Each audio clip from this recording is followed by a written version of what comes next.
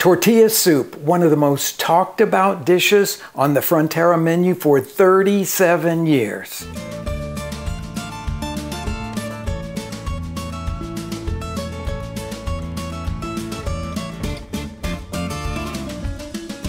Hi everyone and welcome back to my kitchen. Sopa de tortilla, tortilla soup. It is one of the classics of the Mexican kitchen and it has been on our restaurant's menu since the day that we opened 37 years ago.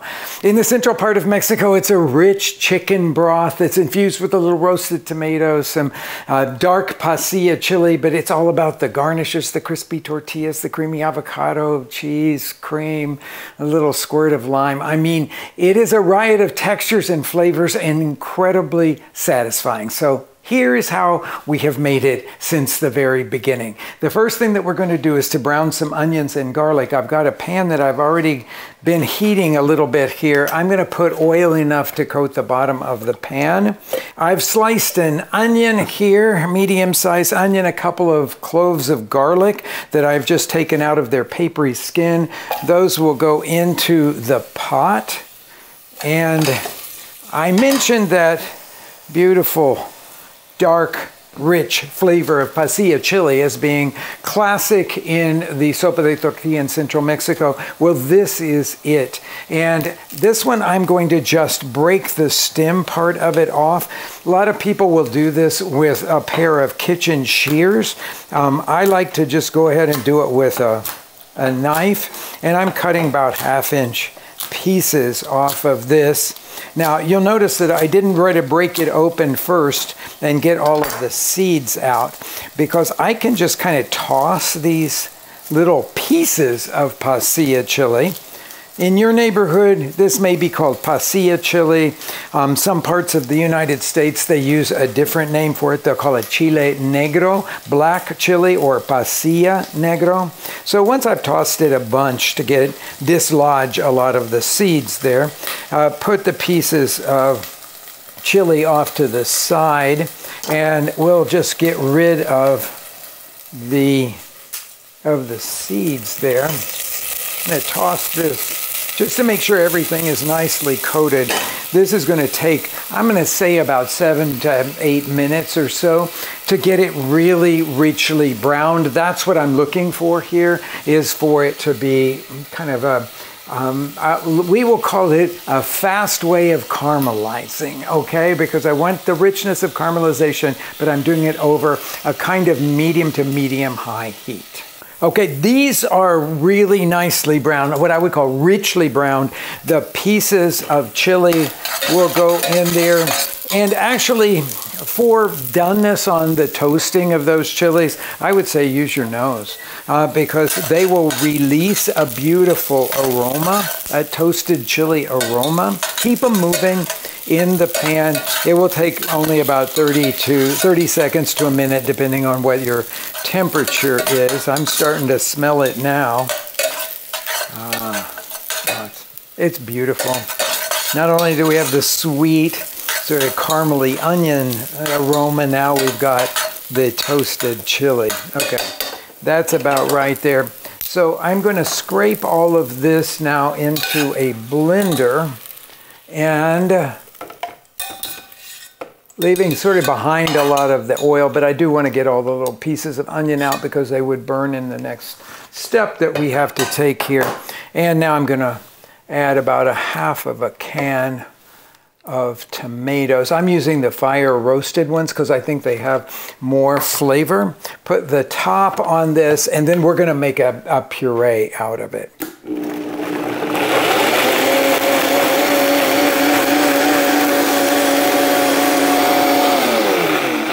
Okay, the color of this is beautiful. Sort of a darker color because of the dark chili that's there. I don't have enough oil to say that we have oil coating the bottom of the pan and I'm going to need it for this next step.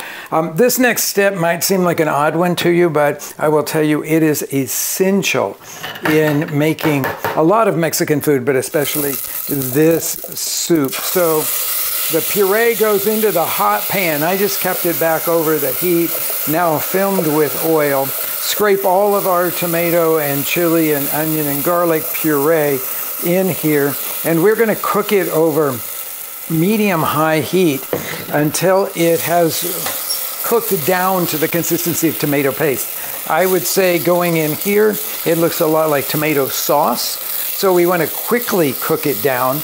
The color of it will darken considerably, but it's mostly the consistency of it that will tell us that we have cooked it enough to bring all the flavors together, to unify them, to give the flavor to this soup that is rich and unified. Color is much darker.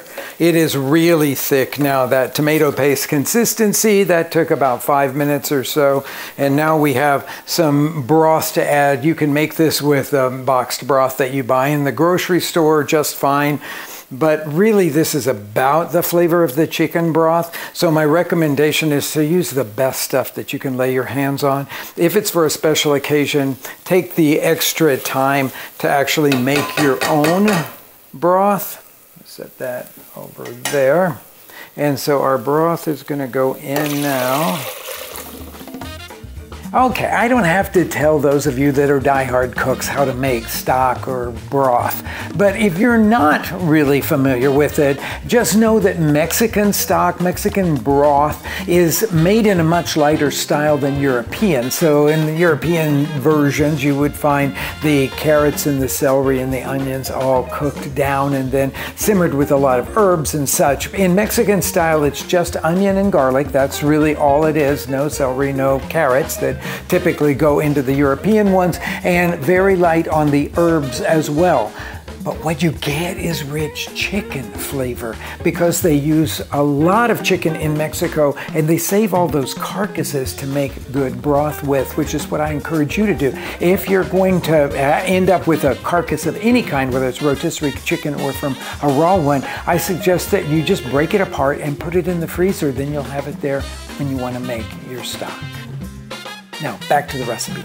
And just stir that until the flavorings have completely mixed into it. The last thing, which is really, really classic in the Mexico City area, is always to put a couple of sprigs of epazote.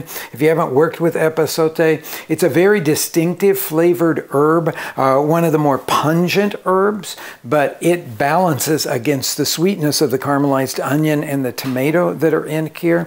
So we'll just throw those guys in there.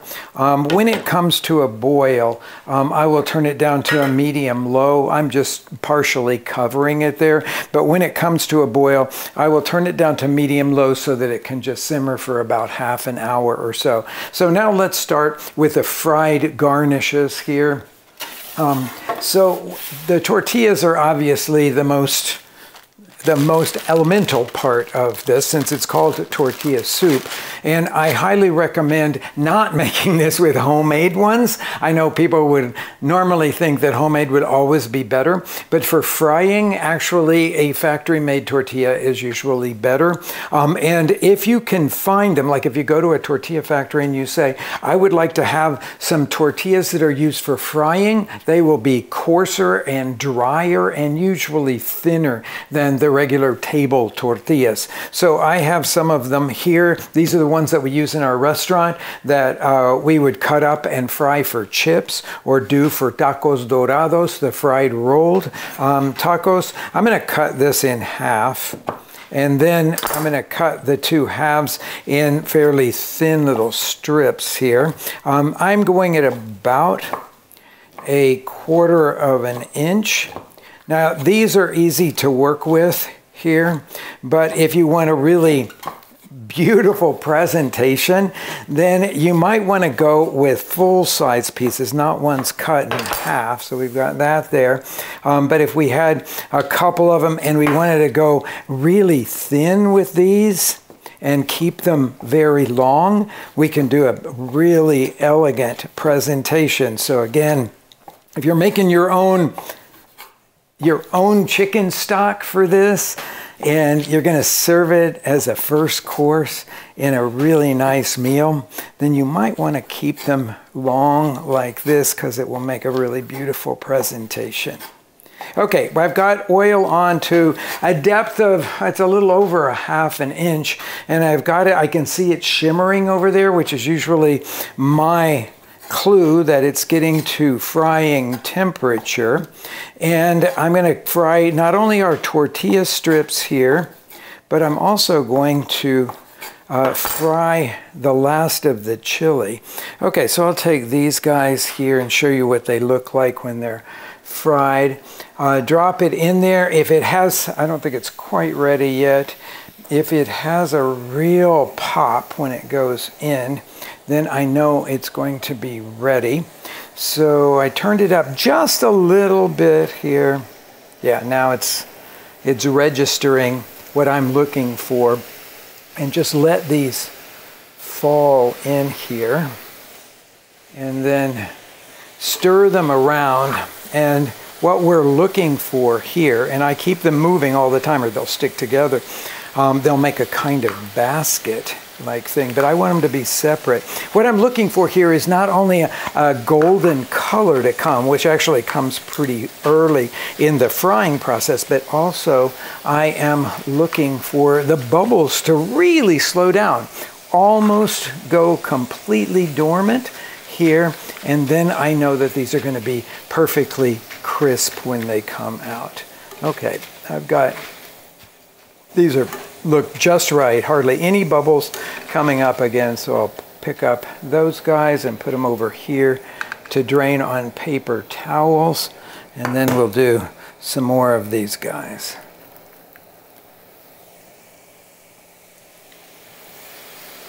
Okay, now on to frying this last chili, same chili, the pasilla or the pasilla negro or the negro chili. And I'm just gonna lay it down. Actually, I'm gonna take the stem off because that's gonna make it harder to fit into this pan. I'm gonna lay it down in the hot oil and then fun things happen. It will start to um, inflate a little bit as we turn it in here, but it doesn't really look like it's doing anything. But I can tell you it really is doing something because we're toasting it. And we want to toast it all the way to where we could crumble it over the soup as one of the garnishes. This will add that boldness that I was talking about that is emblematic of the tortilla soup in central Mexico. So I'm going to turn this for about, it'll, it'll take about I don't know, 45 seconds to a minute for it to completely toast through.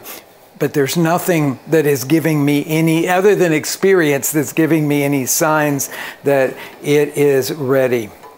Oh, I'm going to say, yeah, this is about ready now. Okay, now let's talk about our garnishes. Okay, We've got some melting cheese here. You can use anything from your Monterey Jack to a mild cheddar for this. Colby, something like that, easily meltable. If you're in Mexico, you'd probably use the Chihuahua cheese or the Manchego, what they call Manchego there. Um, something that's light, not too strong in flavor. Um, we have uh, the avocado, which I, to me is really essential in this. And even though I'm not much of a fan of hot avocado in this soup. It works absolutely brilliantly. Mexican crema, if you're going for something that's so memorable, use, I would say, the French creme fraiche. You can buy it in lots of the specialty grocery stores these days because it has the richness of flavor you would find in the cremerias in central Mexico, what they would just call crema del rancho. I have a cut up lime here, um, some, some chicken. You can buy a rotisserie chicken for this. In fact, you could buy a rotisserie chicken and then make a stock out of the carcass of the rotisserie chicken. And we're going to add this. Um, this isn't quite ready yet, but a couple minutes before the uh, soup is ready, I will put the chicken in there and we will heat it all up and then we'll build a classic sopa de tortilla for you. Okay, we've got our simmering soup here and I'm going to add the chicken to it, but now we have to talk about seasoning here. Um, the this broth that I am using is fully seasoned broth. Sometimes you go to the grocery store and you get the fully salted stuff, and then you really probably wouldn't have to add any more salt. Um, but if you buy the low sodium versions of it, everything's going to be out of whack until you actually add salt and bring it back into nice harmony. But I just want to double check. Yeah, I'm get the richness of the roasted tomato and that chili that was cooked into it. Um, I'm getting the full flavor of the broth here because it was a homemade broth, but one that was fully, fully seasoned. Now let's talk about how to build it. So you need a bowl that's a little bit wide here. Maybe you have a pasta bowl or something like that and you want to serve in that. The first thing that we're going to do in this is to put a spoonful of this Mexican crema. We make our own in that sort of creme fraiche style in our restaurant, so that's what I'm putting in here. Now, a handful of the melting cheese over that. And then a slice of avocado. So I like to just use the side of a spoon to slice in up against the the edge of the avocado, the skin of the avocado. Put a couple of slices in there. Now, the next thing, we can use the thicker, shorter ones. They work beautifully in that, and it's certainly a lot easier to make. But I'm going to show you what these more angel hair-like ones look like. So this one you'll want to stand up like that in the, in the bowl little like pickup sticks here. Um, so you've got a kind of more dramatic um, look to it. Take the, the little chili that you toasted in the oil and crumble that over the soup to give you the, the bold little flicks of flavor there. And then the last thing that we'll do is to top it now with the with the soup. And I'm going to, you could take the epazote out of this before you serve it so that you don't have to worry about that. So I'm just pouring the broth of the soup in and around all of that. And then I'll put some of the chicken around that. And there you go. You have that classic tortilla soup there in, in a presentation that I think could go on the most elegant tables. I will tell you the flavor is so classically Central Mexican, the coming together of Spanish culture and indigenous culture to create one of the world's great soups.